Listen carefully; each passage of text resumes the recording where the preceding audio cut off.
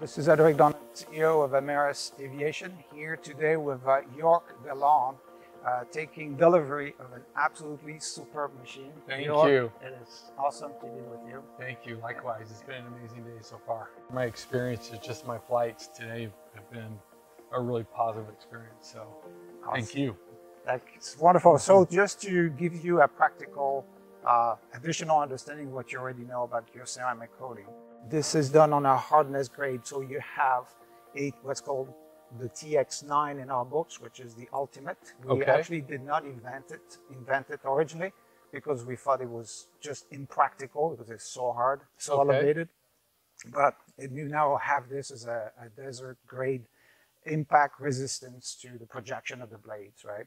And uh, your whole front of your helicopter runs as a TX9.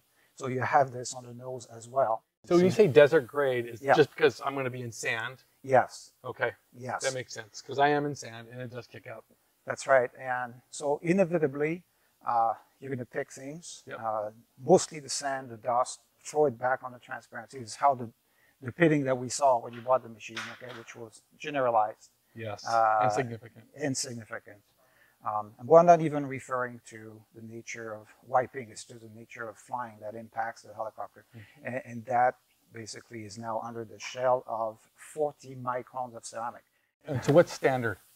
One. One. One. So, Oh, and then the so- final installation, let's call it a, very good company, Yes. We'll go as high as five to six. Okay. Uh, here again, again. So, I, so this is like eight times the thickness. It of is. It is. Great. And where we have brought disruptive innovation is that normally in the world of ceramic, you cannot organize crystals in a satisfactory way, not in a visual optical high def Right. to such thickness. They start to disorganize Okay. and not molecularly bond normally like they, Does they it would. distort the image or something Yep. when looking through it? It would look, gets- it will feel like looking through fog Oh, or okay. through milk. all right? Well, I did not have that experience flying today. That's wonderful. so we're just going to walk you very quickly. Your landing gear is also coated uh, in TX8, so everything past this uh, receive uh, an average of 20 up to 30 microns on the tail boom. Okay. So the same thing against regular standard. Uh, we are about four times thicker here. Let's say three and a half here and four and a half uh, on the back. So why do we do this? Because we want to, this is an area there's a lot of duress and a lot of uh, This, yeah, and this, there's a lot of soot that comes out of that. a lot of soot. Yes. And uh, so same thing with your heat shield. Uh, receives actually an HCl elevated 60 micron, so even higher than the tail boom. Okay. okay? Because because of the heat, because of the accumulation, because of the necessary motion to clean that By the way, up. did you did, have you cleaned this since I went flying? uh, no, we haven't. We just looked at it, I put about five hours of flight time on this and today. wow, is that fair to say that? I'm, I am not. I mean, I haven't wiped a white shirt on it, but I can. There's visibly, I cannot see any carbon buildup. And that is not normal. so it's your Fenestron um, as well is treated in the same category of HCl. Uh, it's an HCl4, so it's about 25 microns. Uh, everything is done but the blades. Okay. This is part of the future developments, but Oh, not yet. good. Okay. Put me on top of your list when you do it. So basically, yeah, we arrived to the same conclusion here, which is the worst pop wash area where we would have the most accumulation. Yeah, right here. Normally, it, And, it gets uh, really messy. We don't have anything. Uh, same thing, this is treated as an HCl up there for the reason you're going to be opening this up and down. Uh, Yes. The mechanics are going to be working on it. So it provides additional resilience over time so you don't develop swirls. Okay. Uh, this, because your machine was built from scratch, the gear was off. Yes. So we were able to work deep inside every single painted area as receive a hyper treatment. Oh, so even on the black skid tubes. the black skid tubes, the rails, um, the fairings uh, under and above, and even your paddles. If you could just give us a quick reminder of the equipment that Eurotec Canada has installed for you on this build from Greenwich. Okay. I mean, I could take an hour, but I'll try to do it in less than 15, 20 seconds. Um, uh, of course, they, they did paint the painted the whole exterior, and of course the windscreens. Um, but these seats are all brand new leather and Mm-hmm. super soft, super supple, prety cool. Um, This is a beautiful here. element, beautiful and design. and this, this floor covering, um, it's it's a new product. You usually only see it like in Gulfstream galleys, Oh, like you know of, all the Gulfstream products.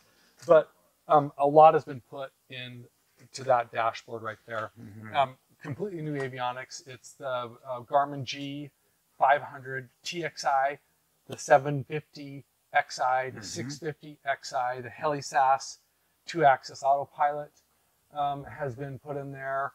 Um, This and is very right? customized um, camera systems Oh, and yes. um, How many cameras do you have in so i mean if you include if i have my camera arm on there's one two three four and then the high vis camera on the bottom is five cameras Wow. that you can scroll through or see all at the same time on the garmin instrumentation up That there is tremendous. so it is a very it's a very high-tech uh, machine and it all works And it all works.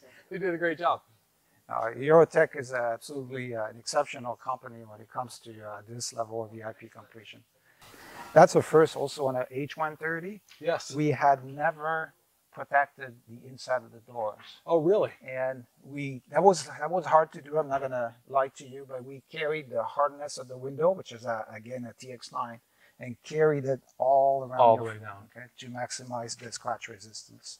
And I think you also mentioned that you did do uh, a ceramic protection on the leather and on the Yes, covering. absolutely. Uh, so re- you really have a consistent, uh, consistent throughout sealed interior. Okay, so it's a little bit different than the paintwork, sure where you have a super surface, Yes. thick, hard, bond, molecularly bonded.